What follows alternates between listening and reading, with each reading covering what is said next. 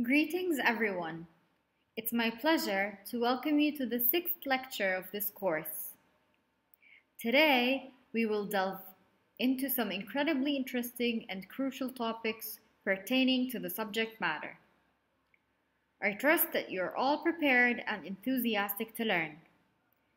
We shall explore numerous concepts and ideas that will enhance your comprehension of the subject matter. Therefore, let us commence this lecture with zeal and make the utmost of this opportunity.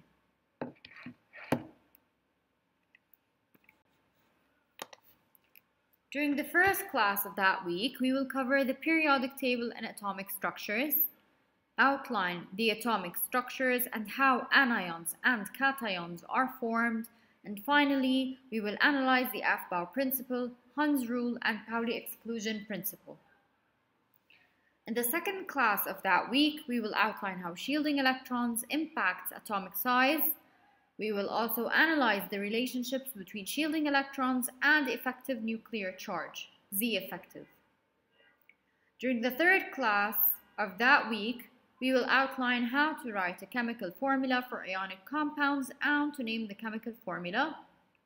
And we will analyze the components of ionic compounds and the number of valence electrons.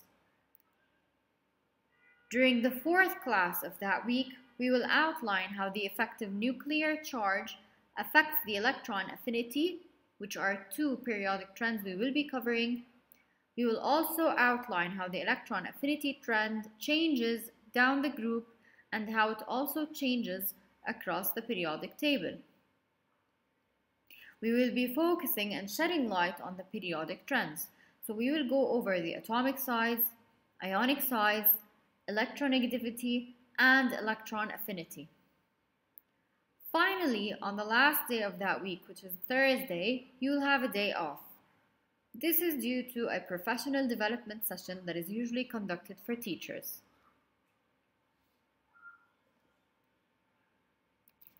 I would like to end this lecture cast with a inspirational note.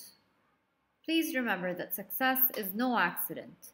It is hard work, perseverance, learning, studying, sacrifice, and most of all, love what you are doing or learning to do. I wish you all a splendid week and have fun on the learning management system. Thank you.